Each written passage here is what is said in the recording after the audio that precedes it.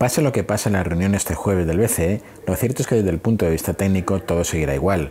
Y es que mucho tendría que subir o que caer el euro dólar para de verdad salir del largo movimiento lateral en el que se encuentra inmerso desde principios de 2015.